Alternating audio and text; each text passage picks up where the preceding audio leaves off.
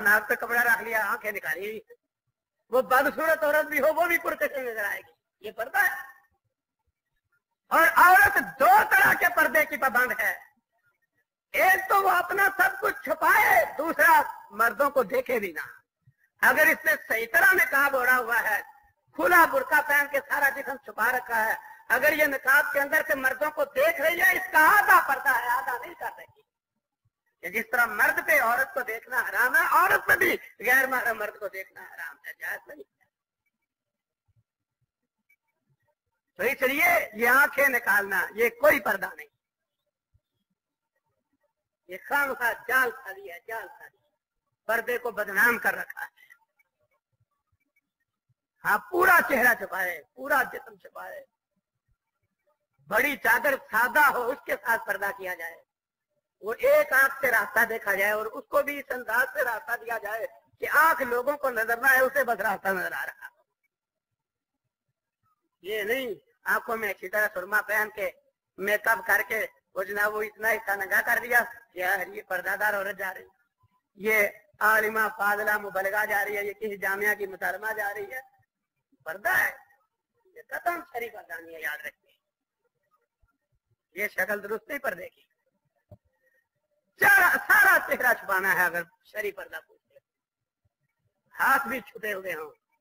और फिर क्या है? बुरका पहना हुआ है, इंतहाई मुजयन मुनक्कश। बड़ा पुरकश बुरका। फिर जनाब, जूता इंतहाई खूबसूरत है। पर्दादारी हाथ जेवर से रास्ता है और बाहर निकाले हुए हैं। कैसा पर्दा है? नबी सल्लल्लाहु अलैहि वसल्लम के जमाने में औरतों को सादा कपड़ों में मज़बूत करके फिर हौदज में बिठाया जाता था डोले में डोले में। ये तरीका था औरत के बाहर निकलने का। कि बा पर्दा भी है और हौदज के अंदर है, डोले के अंदर तो कहीं आ जा रही है बा पर्दा भी औरत नज़र ना आए। डोले के अंदर उसको बिठा के सवारी के ऊपर रखा जाता है। कैसी एहतियात है। और अल्लाह का हुक्म है, वकार ना पी बयू से कौन अव्वल तो बात यह है, घरों में रहो। बिला वजह बाहर निकलने ही नहीं। यहाँ तो क्या है, औरतें बहाने ढूंढती हैं बाहर निकलने के अल्लाह शोहर जितना मर्ज़ी अच्छा कपड़ा ले आए, बाप जितना मर्ज़ी अच्छा सूट ले आए, भाई जितना मर्ज़ी खूबसूरत जोड़ा खरीद के ले आए, लड़ पड़ेगी। कूड़ा उठा के ले आया। नज़र नहीं आया था, क्या लेके आ गया? असल चक्कर क्या है? बाज़ार नहीं गई। वो बाज़ार जाने का मौका ढूंढती है। कि मैं खुद बाज़ार जाऊँ वहाँ दुकानदार से बात करूँ खा कूड़ा खरीद के ले आऊँ, पर मैं तो जाऊँगा, मुझे तो फिरने का मौका मिले ये मोमना औरतों वाली सिवत नहीं है। औरत बिना उधर बाज़ार नहीं जा सकती। मजबूरी है, शोर कोई नहीं, बेवा है, बच्चा भी कोई ऐसा कोई नहीं। ऐसी औरत मजबूर है, जाए, और वो भी ऐसे अंदाज में जाए कि मर्दों के साथ हर इम्कान इख्तलाफ ना हो। मौजूदा तरीका अस्तगफिरुल्लाह अल्लाह की बना अल्लाह की बना। ये तो बाजारों में जाने वाला है ही नहीं। इधर क्या है? रस्में बनाई हैं। नई नई शादी करो तो जनाब हफ़्ते के लिए मरी सबात कगान सैर हो रही है। अरे ये काफरों की रस्म है। इसको अरबी में शहरुल आसल कहा जाता है। निकाह की सैरो प्यार ये काफरों का तरीका है। जो आज मुसलमानों में राज हो गया। इनका किया और बनी ठनी बेगम बेपर्दा करके साथ लिए फिर रहा है और जनाब सैर हो रही है। वह करना पी बई होते घरों में रखो सही मुस्लिम में वाक्य लिखा है तिहादी घर में आया, नेदा हाथ में पकड़ा हुआ है। देखा बीवी दरवाजे पे खड़ी है, गुस्सा आ गया। नेदा उसकी तरफ़ सीधा कर लिया। उसने हाथ जोड़े, जी अंदर पहले देखो मेरा उधर, फिर जो मर्ज़ी कहना। ये अंदर गया। दरवाजे पे खड़ी है। चौराहे और बाज़ार में नहीं, दरवाजे पे। और जवान ने नेदा सीधा कर दिया। वो कहते हैं, अंदर जाके पहले पहले मेरी मजबूरी देखो। अंदर गया। एक बहुत बड़ा इश्तेहार सांप उससे डर के बीवी बाहर खड़ी थी। बस ये अंदर दाखिल होते ही वो अजदेहा पे वार करता है। अजदेहा इसके ऊपर वार करता है। बयान करने वाला बयान करता है कि मुझे नहीं पता कि पहले वो जवान की मौत वाकई हुई अजदेहा की मौत वाकई, यानी दोनों की मौत वाकई हो गई क्योंकि अजदहा ने उस पर हमला कर दिया, उसने अजदहा पे हमला कर दिया। दोनों का ही वार कामयाब हो गया, दोनों ही लेकिन देखो, कैसी गैरतमंदी है कि बीवी को दरवाजे पे खड़ा देख के बर्दाश्त नहीं दरवाजे पे खड़े देखकर गवारा नहीं किया, क्यों खड़े अब तो हकीकत है, जिसको शरी पर्दा कहते हैं ना, शरी पर्दा, वो तो हज़ार में से शायद कोई एक औरत हो जो शरी पर्दा करती होना क्या जनाब, माह रमज़ान, मुबारक महीना, औरतें नमाज़ तरावी के लिए आ रही हैं। जेवरात की छनकार, चूरियों की आवाज़, खुशबू महक रही है। क्या है जी, अल्लाह के घर में इबादत करने आ रही है? इबादत है। आप सल्लल्लाहु अलैहि वसल्लम ने फरमाया, जो औरत खुशबू लगा के मस्जिद की तरफ़ नमाज़ पढ़ने जाएगी उस वक्त तक उसकी नमाज़ कबूल ही नहीं होगी, जब तक वो खुशबू खत्म करने के लिए जनाबत वाला गुसल न कर ले। नमाज़ ही नहीं कबूल होगी, हदीस के अल्फाज है, उसकी नमाज़ ही नहीं कबूल होगी। जब तक अच्छी तरह गुसल न कर तो ये तो बात थी पर्दे की।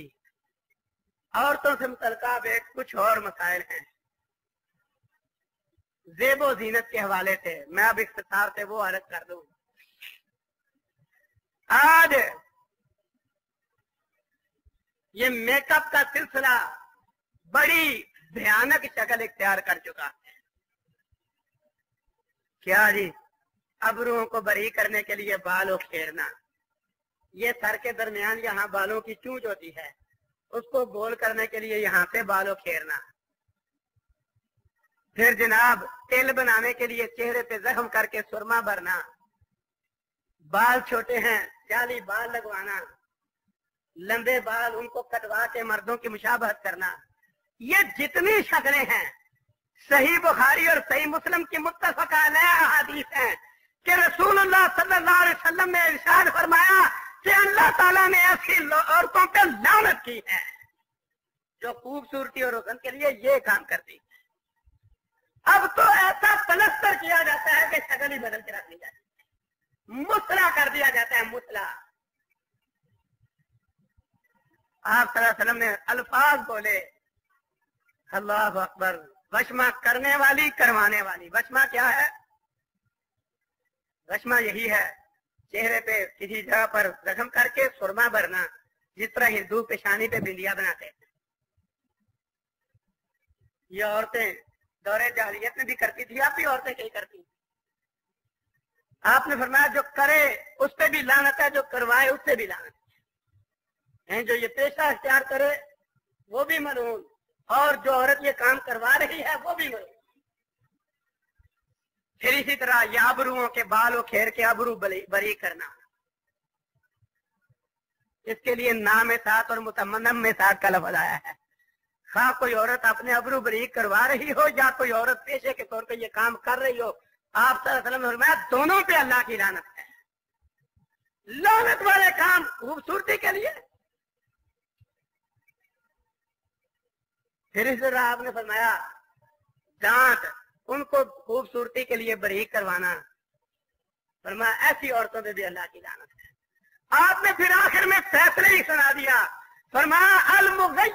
खलकल्ला, जो हुसन और खूबसूरती के लिए अल्लाह की दी हुई फितरत को बदलती है, उन सब पे लानत है।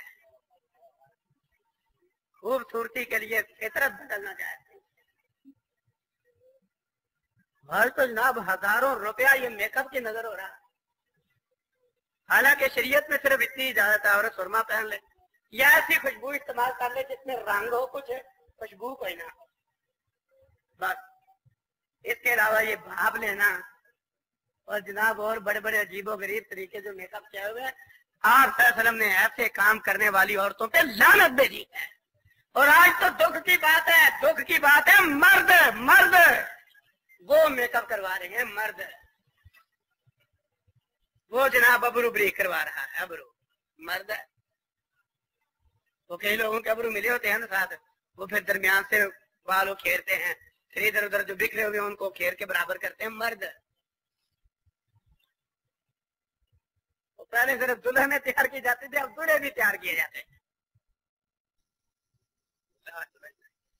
हालाँकि वसल्लम ने वादे तौर पर फरमाया